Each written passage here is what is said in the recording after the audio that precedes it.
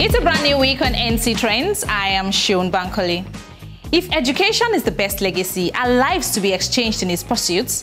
These and more are the questions on the placards of the students of the Federal University of Agriculture at Abeokuta who have taken over social media space with the hashtag Free Our Students to protest the abduction of their colleague. Olayinka Toyinbo, a 400-level student of aquaculture and fisheries management, was kidnapped alongside others yesterday by suspected gunmen in Odeda area of Ogun State, Nigeria. Reports have it that the incident happened on a private farm where he has lived and worked as a livestock farmer in the past three years. Now wait for it. The kidnappers have made a 50 million naira ransom demand for Olayinka and the other kidnapped victims, and FUNAAB students are not having any of it. Let's check out some of their comments on Twitter. At FUNAAB underscore SUG says, share it is until they kidnap all of us before something is done. Hashtag free our students, hashtag free Nathaniel Olayinka, hashtag free Funabite. Moving on to the next tweet, Oluwadam Lola Adepojo says, if education is the best legacy, why are we to exchange our lives for it? I mean though, if education is the best legacy, why is our government opening us to threats?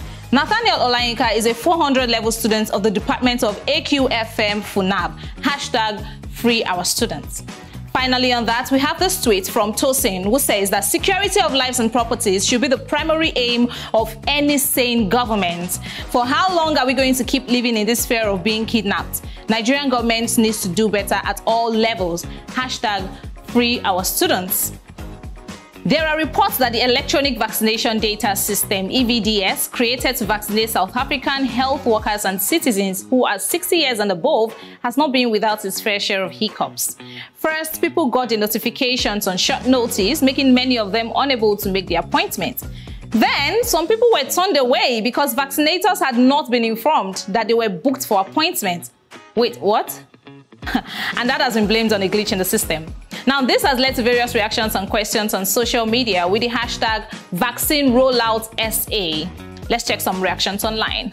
Gideon Duvin Hage, I hope I got that right, says, At Cyril Ramaphosa, hi sir, could you please take some time out of your schedule to address the nation? Just discuss some important stuff. It feels like you only talk to us every time the has hit the fan. Hashtag vaccine rollout SA. Moving on to the next tweet. Executive Mayor Randall Williams says, just got vaccinated and I'd like to call on everyone who is eligible to register for vaccinations at this stage to please do so. Hashtag vaccine roller SA. Now that's someone who was lucky enough to get vaccinated. At Positive Vibes ZA says the hardest paying COVID cost was the lives it took. The vaccine gives us and our leaders a stronger chance to fight the virus. Register everyone Register everyone you know over 60 for the vaccine and help them live beyond the pandemic. Hashtag vaccine rollout SA. Finally, we move away from that to Zimbabwe, where hashtag register to vote ZW is trending to motivate youth to register to vote at the upcoming elections, reminding them that their votes count and they should use the vote to change their lives. Let's check some tweets on that topic. Tanya Muzinda tweeted, A few successful people in the middle of millions of poor youth is not a true success story. I agree with that. It's a fraud. Youths don't need miracle money and handouts. They need a working economy where systems work for everyone. Youths fight for your own success, not for clowns. Hashtag register to vote ZW. Moving away from that, we have the tweets from CZG official who says, let us take a few more minutes of our time and register for the 2023 elections. We are the ones that can only determine the Zimbabwe that we want. Let your choice be heard. Remember, every vote counts. Now, that's a message to every Zimbabwean youth out there. Every vote counts. Hashtag register to vote ZW. Finally, on that, we have this tweet from at Lisa underscore NCube.